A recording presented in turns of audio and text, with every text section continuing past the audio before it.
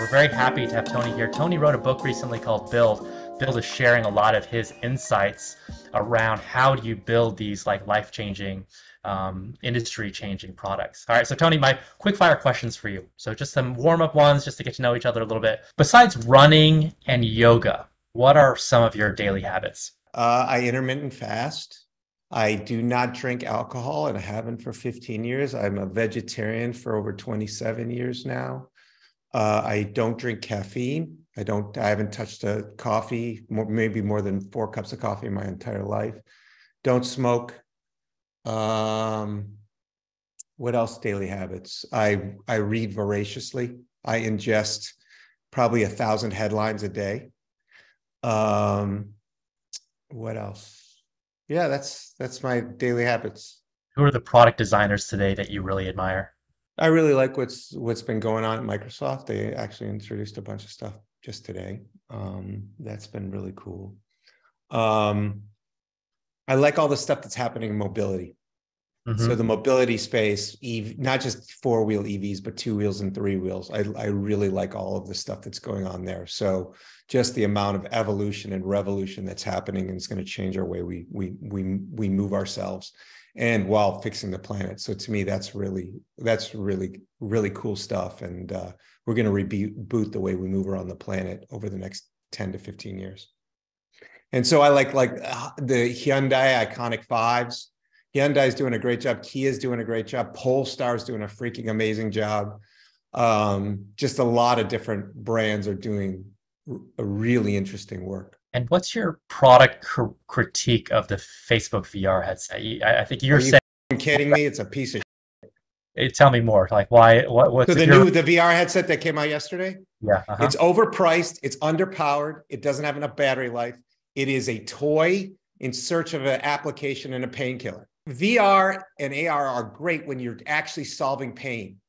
When you're talking about stupid meta worlds or whatever horizon worlds, it's just bullshit. Like, why do you want to live in that crap? Like, it's better to, like we can have a better interaction this way because I can see your eyes and I can see your your facial expressions.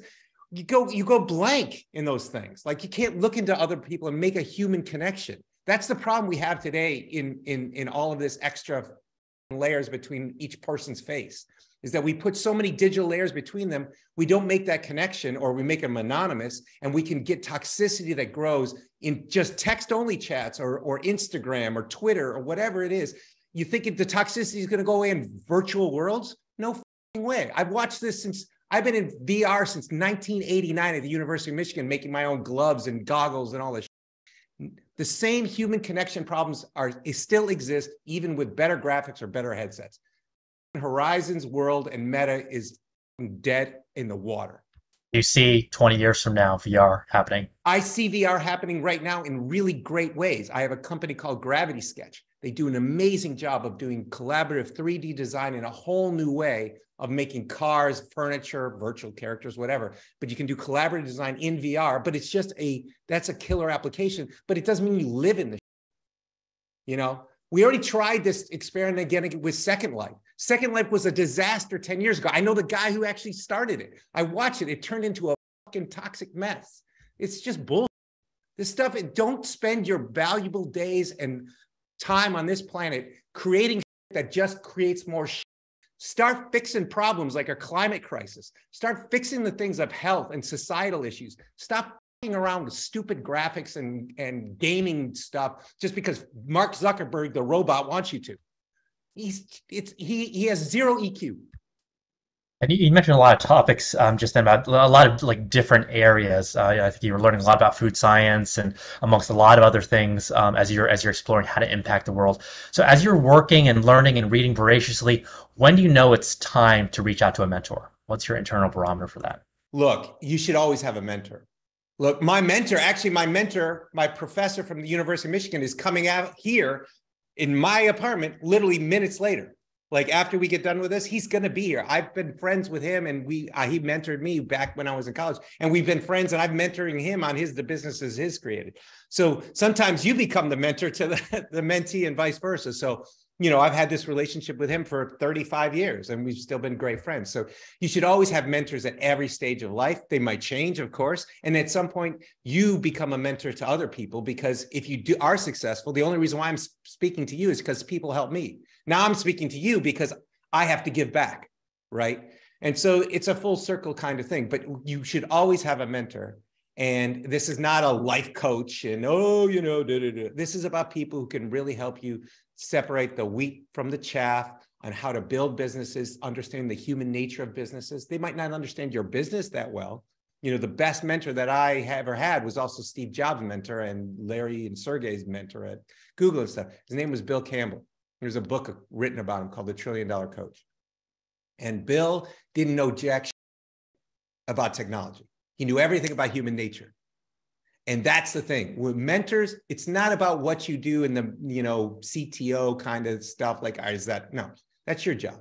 It's about understanding how to take the technologies and the things that you can innovate and understand how to communicate them and get teams motivated. And it's all human nature. I don't care where you are in the world. You need to have a mentor who can help you see through and, and understand how to get the best out of yourself and out of people through um, through their eyes. I don't have any bosses. I've created every job since my very first job for myself. Now's the time to be the, you know, you know, empower yourself to take those risks and move on and and leapfrog everyone else. And yeah, sure, you're like, oh, I want to, you know, have fun. Well, guess what? Now's the time to work because then you could have fun lots and lots of years. And like I've had, I'm traveling all the world, having all this great stuff, you know, and and and seeing great people and and and doing the best work of my life. But it because I put invested those times back in the early days. And that first 10 years, it was an utter failure, man. I was working hard and they were failures for 10 years straight. But I was learning the whole way, getting my PhDs. That's why you were able to ship the iPod at 31 in 10 in 10 months because of that those that 10 years of failure. I think that built up to that that point.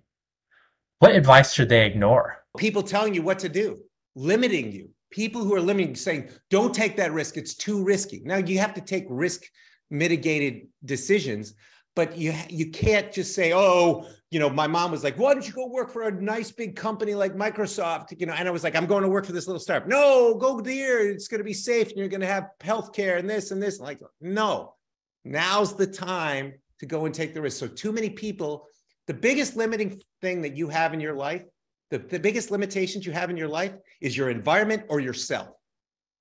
So you surround people, surround yourself by people who don't take risks, and so they project their their fears onto you, and you have your own risks and you have your own fears that stifle you. The biggest, uh, what I've always seen from real high achievers is that the biggest limitation to themselves is themselves or the environment they're in. So get out of the goddamn environment you're in, get around more people taking more risks, and start challenging yourself. Challenge yourself. You know, the biggest thing that I learned was I jumped out of plane. I jumped out of plane last weekend. I jumped out of plane multiple times. When you overcome that fear and you're like, oh, sh- I can actually do this. And you jump out of the plane, you're like, I can do just about anything because the things that I do every day and the things that everyone out in the audience is going to do every day if they're not life they're not life threatening did you ever feel like giving up if so what motivated you and, and just shop around. See what you see see if you have anything interesting kind of like in the in these in these questions that people are uploading sure of course you you, you feel like giving up. There was times you know after general magic where it was an absolute disaster. But again you know after you wake up from the trauma that is you know the failure or whatever and you go no this was the right thing. It was what did I what did we do wrong and learn from it? And then you say I'm going to keep going because I know this needs to exist. So it was really the understanding that this is important. Like if we would have given up, if all the people at General Magic gave up, we wouldn't have Android. Android came out of General Magic. iPhone came out of General Magic. If we would have all given up, then we wouldn't have had those things. So we found it inside of ourselves to do that because we knew that this was the future. We just got some stuff wrong, which was timing, technology, all kinds of stuff, and we kept moving through it. So, um, so that's the biggest thing. How do you deal with imposter syndrome? Yes, have it all the time. Tell you the truth, and you know what? So do the people around you, and you just have to assume it's that. Because the only way you get to where you want to be, I'm not talking about fake it till you make it. I'm not talking about you know, uh, what's her name from Theranos and all that stuff. Know her. I got a whole story about that. But we don't want imposters. You don't want to, you, you want to make sure you're doing it and you're like, I'm 22. Why should I be the one to be able to do this? I don't know what the hell I'm doing. Guess what? Nobody knows what the hell they're doing when it comes to innovation. They don't know. When you're innovating at the, the razor's edge, nobody knows. So it to tell if there was an expert, they would have already done it. So there's expertise, not experts when you're innovating. So you just have to understand that everybody has imposter syndrome. If they don't, they're probably schizophrenic or psychotic or sociopathic. All right. So it's okay. Just embrace it. It's going to be okay. Get through it. Make sure you have good people around you. You have a mentor who can keep you on the straight and narrow, and you have other good people you can test your ideas with that are not just geeks.